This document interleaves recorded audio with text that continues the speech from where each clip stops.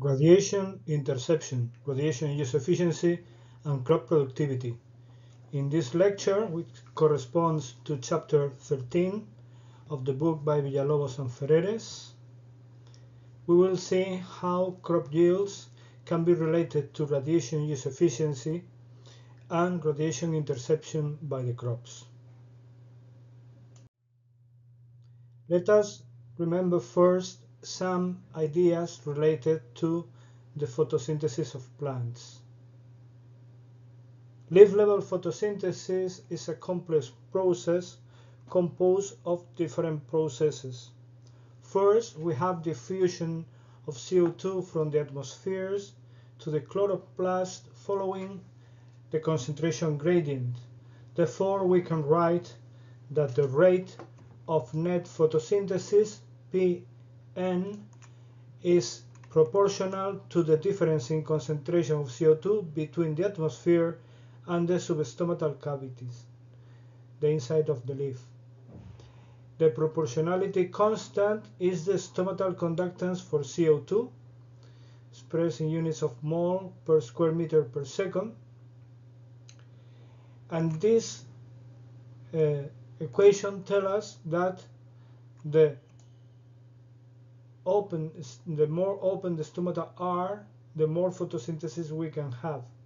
And the greater the gradient in concentration between the atmosphere and the leaves, the more photosynthesis we can have. But photosynthesis also has another process, which is the absorption of light by the photosynthetic pigments and the photolysis of water.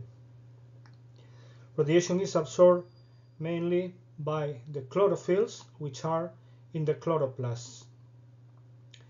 Then, due to the photolysis of water, oxygen is released. And at the same time, energy compounds ATP and NADPH are generated. This will be later used for CO2 reduction. This process does not depend on temperature or concentration of the CO2. The third process related or included in the photosynthesis process is the reduction of CO2 using the compounds generated in the photolysis of water. We require between 8 and 12 light quanta for each molecule of CO2 reduced. This reduction can occur in the dark and is very sensitive to temperature. It is regulated by photosynthetic enzymes. Therefore, including the three processes, the diffusion of CO2, the absorption of light and photolysis of water, and the reduction of CO2, the photosynthesis at the leaf level will depend on the concentration of CO2, on irradiance, and on temperature. Overall, the efficiency of photosynthesis is rather small. The ratio of stored energy to incoming energy is equivalent to 2 to 3% of incoming solar radiation with a theoretical maximum around 6%. If we express efficiency in proportion to net radiation, we have values between 6 and 7.5% with a theoretical maximum around 15. This will occur under conditions of diffuse light and very high photosynthesis like in greenhouses. We have also to remember that there are three types of photosynthesis mechanisms. C3, the C3 mechanism is that of most agricultural species and the natural flora. The C4 is typical of subtropical to tropical regions and in agricultural species it is observed in maize, sorghum, millet, sugarcane and some tropical grasses. The CAM, the crassulacean acid metabolism, is rarer and less important in crops. We can say, for instance, the agave or pineapple. In this case, the CO2 fixation occurs during the night, so that improves the water use efficiency.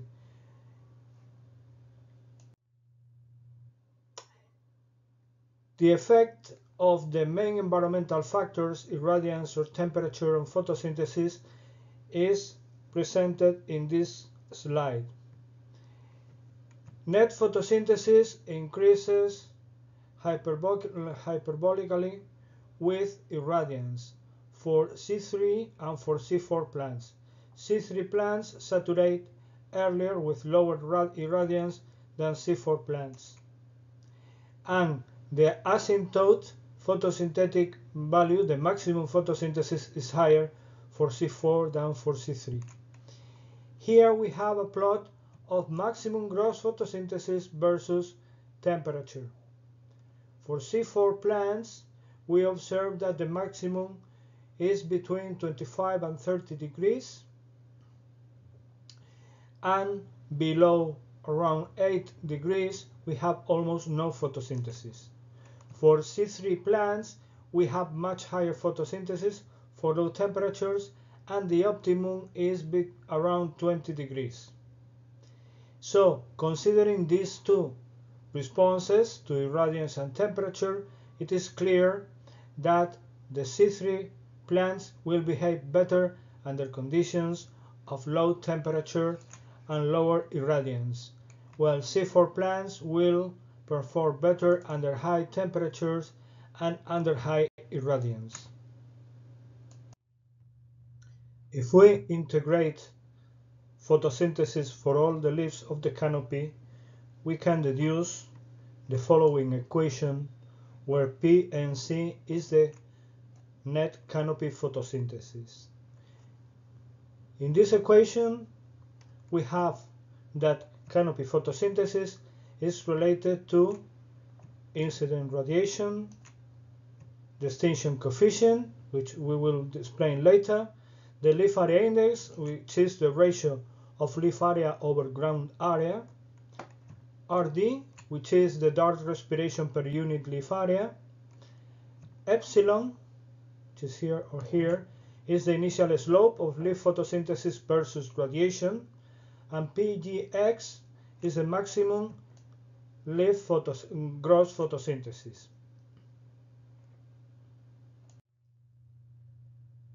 The extinction coefficient is related to radiation interception by the crop.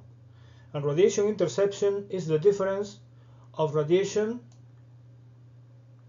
between the values above the canopy and the values at the soil surface.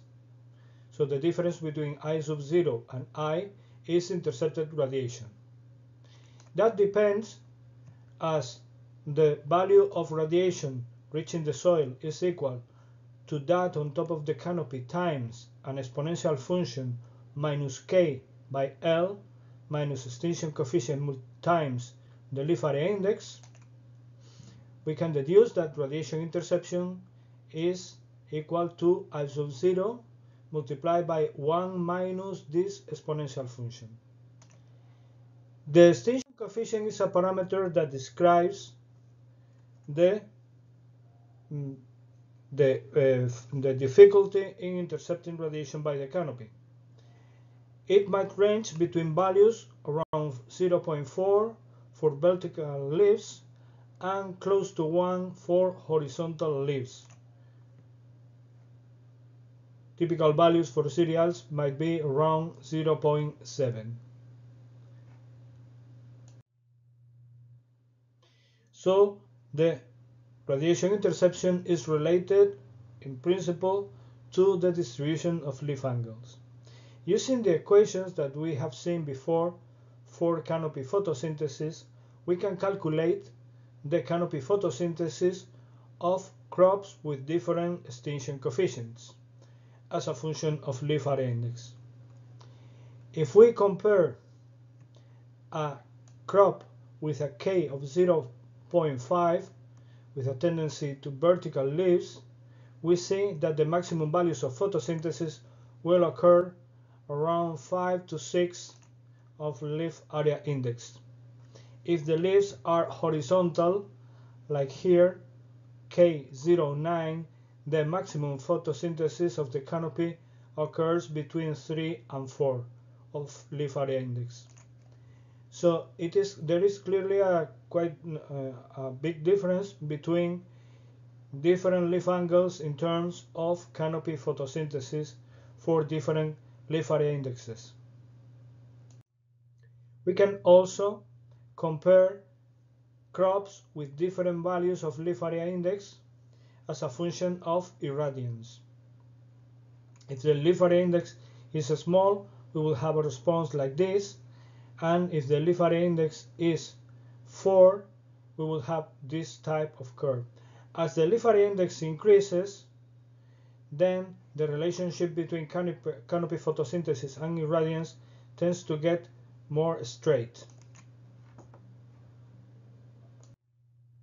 Now we might wonder if plants with a higher photosynthetic capacity at the leaf level will have also a higher canopy photosynthesis. And we see in this graph that that is not always the case.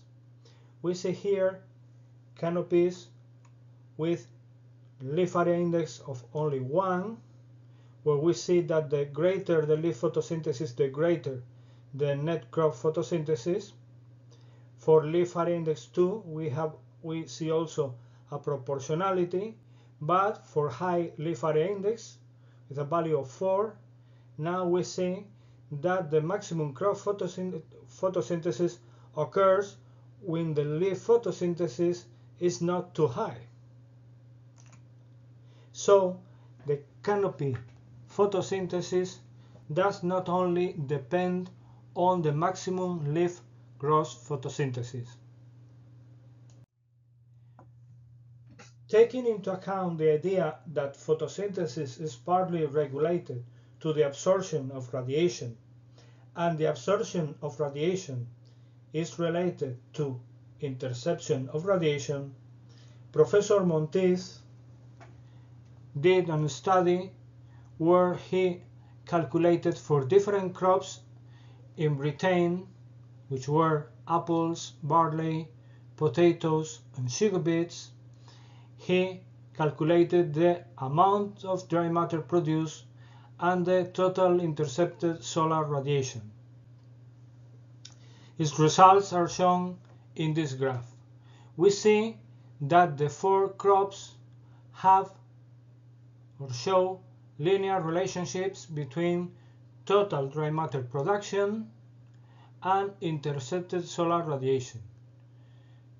The different lines have similar slopes, which is very striking as the four crops look quite different. We have apples, a tree, barley, a cereal, potatoes, which is used with, for the tubers or sugar beets, which are which roots are harvested. But they have in common that they are all C3 crops. So, in summary, Professor Monteith showed that there is a general similar relationship between total dry matter accumulation and radiation interception for C3 crops. The relationship between biomass production and radiation interception can also be uh, manifested in this graph where we show our own data of canopy photosynthesis of a cotton crop in the summer of 2003 as a function of intercepted PAR. And we see that there is a linear relationship, although it differs during the morning and during the afternoon. The greater values during the morning than during the afternoon are associated with uh, lower temperatures and therefore lower respiration of the canopy. But in general, we also observe that a linear relationship between photosynthesis of the canopy and radiation interception. The slope of the biomass versus intercepted radiation is the so-called radiation use efficiency. In other words, the radiation use efficiency is the amount of biomass produced per unit intercepted PAR.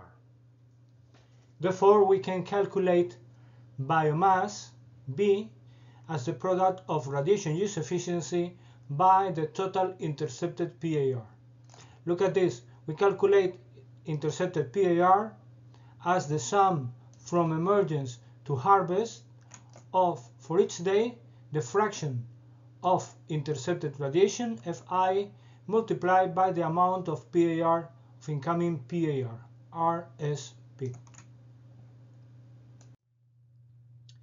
We can calculate for different crops the fraction of intercepted radiation using the crop coefficient curves of the method of FAO. During the initial stage A, when the crop is rather small, we can take a value around 10% of radiation interception as a constant. Then, for the maximum crop coefficient stage, we can calculate F as equal to Kc minus 0.03 and the same would hold for the final and then we would interpolate for stages B and D. As we already know how to calculate the biomass production as a function of the radiation intercepted, which would be all this, we can calculate dry matter yield by multiplying the harvest index by biomass. The harvest index is the fraction of biomass that is harvested. Finally, if we want to calculate the fresh or commercial yield, we multiply all this, which is the dry matter yield, by 1 over 1 minus W, which is the fraction of water over fresh mass.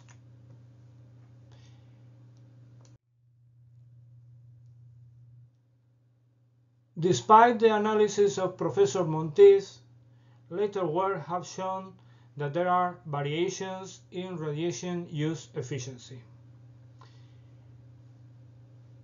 These variations might be related to the different photosynthetic capacity of leaves. For instance, olive trees have a rather low can, uh, leaf photosynthesis and its radiation use efficiency is small as compared to annual crops.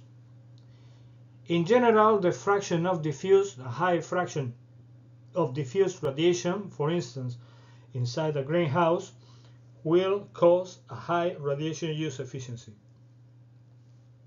Other processes requiring energy, like nitrogen fixation in the case of legumes, will low well, will reduce the radiation use efficiency.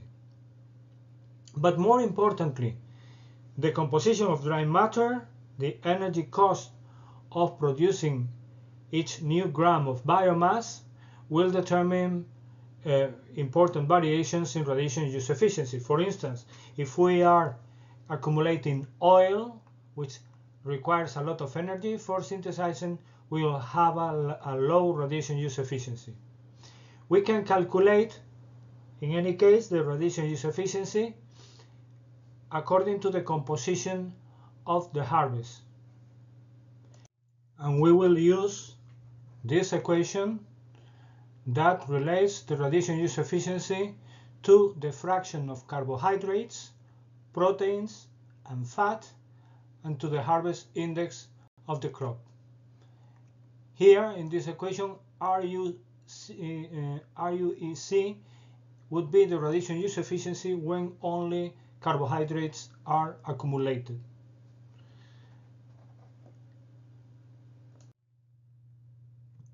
To apply that equation, we need data on crop composition, and for that we can use the appendix of chapter 32 in the book by Villalobos and Ferreres.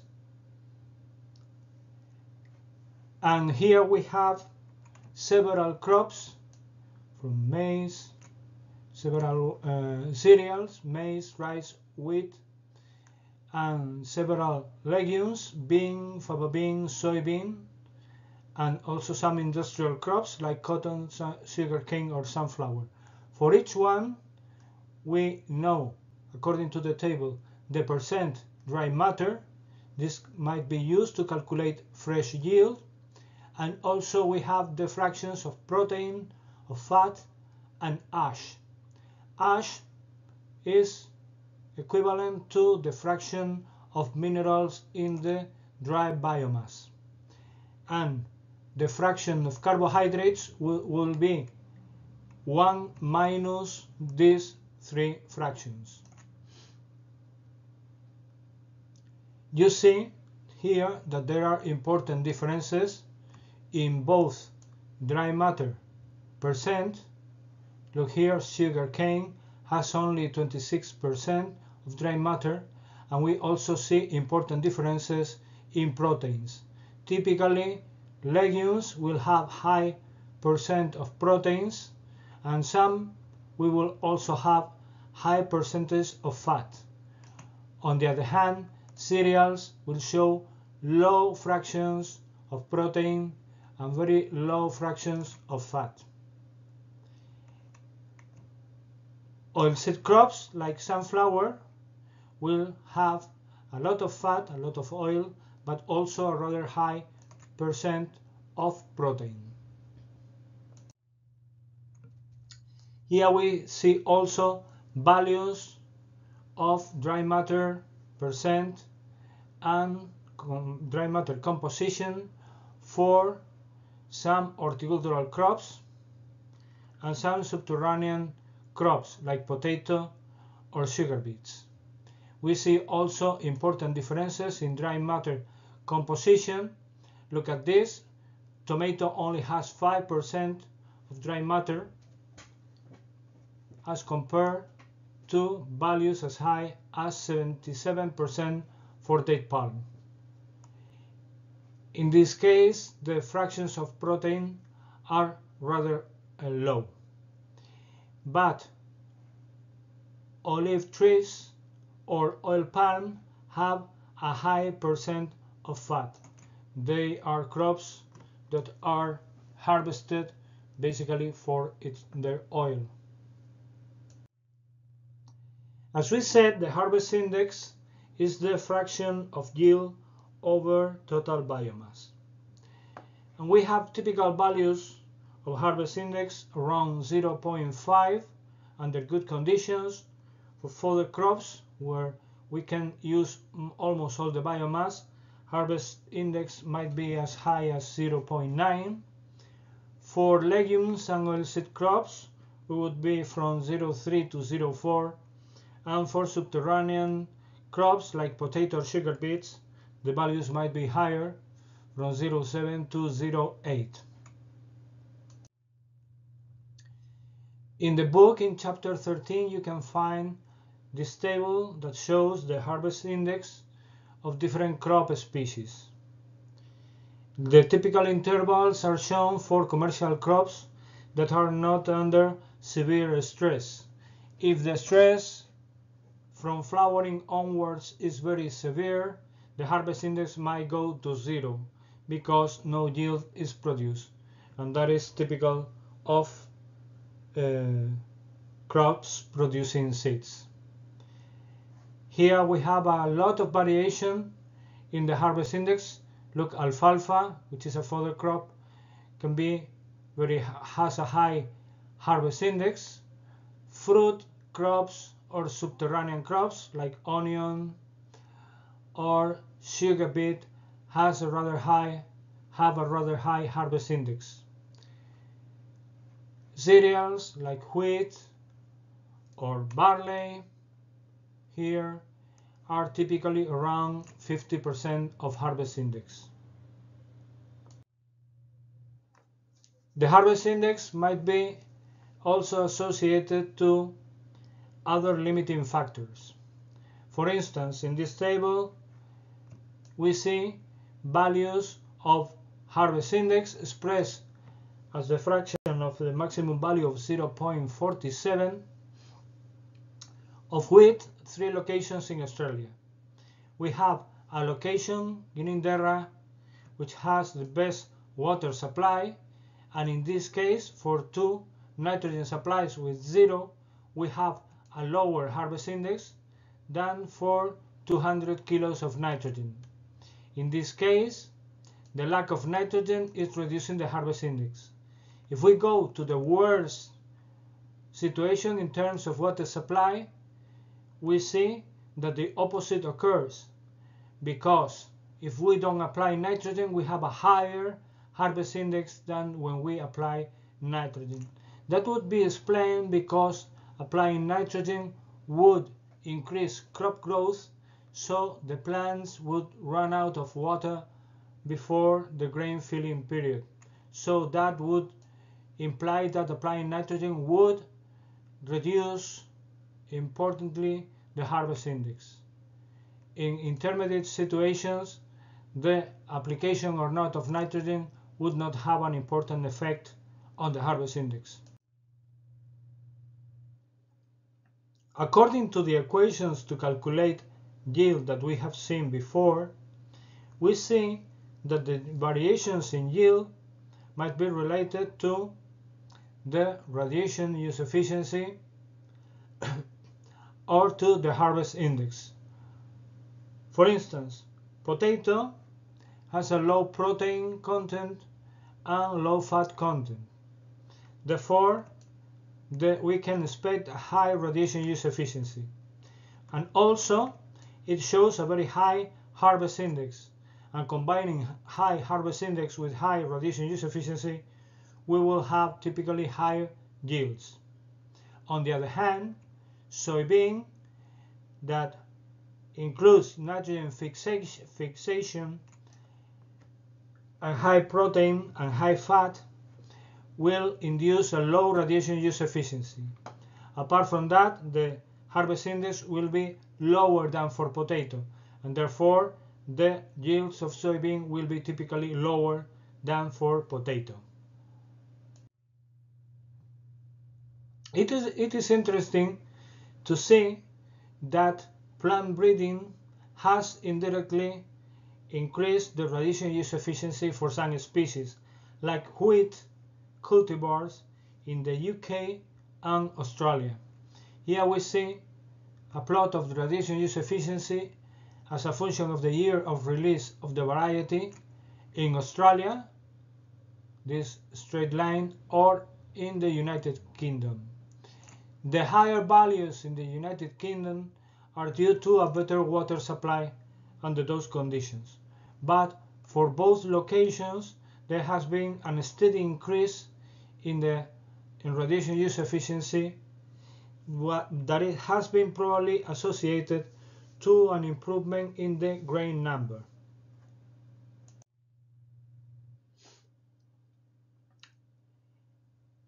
The uh, relationship between yield and environmental conditions, in special to temperature, might be analyzed using this equation, this general equation of productivity.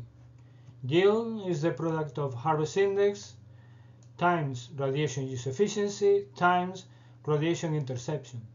But the radiation interception is the sum of something from emergence to harvest, of radiation interception of each day from emergence to harvest. And this duration depends on temperature.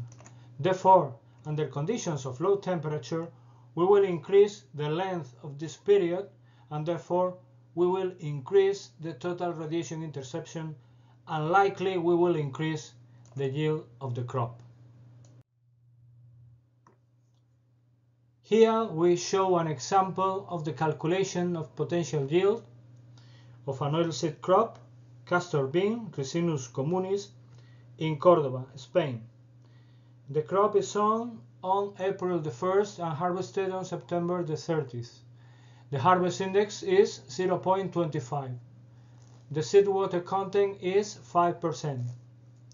The castor seed contains 50% fat and 15% protein on a dry matter basis. We assume that temperature does not affect crop productivity. The seasonal intercepted PAR is 1106 megajoules per square meter. First of all, we calculate radiation use efficiency using the equation that we saw as a function of the fraction of carbohydrates, protein, and fat, and as a function of the harvest index. Applying this equation, we would deduce that radiation use efficiency would be 1.66 grams per megajoule of intercepted PAR. Now we can calculate fresh yield using this equation, where W is the fraction of dry matter in the seeds, harvest index is 0.25, here is radiation use efficiency, and this is the total intercepted PAR. And therefore, we come up with a total yield of 4,830 kilograms per hectare.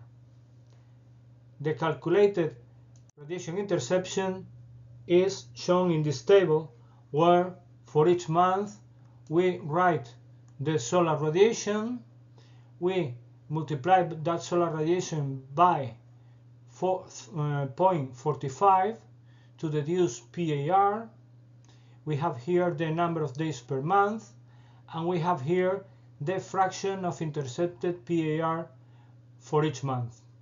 So multiplying PAR, the number of days, by the fraction of interception, we come up to the intercepted PAR per month, like here.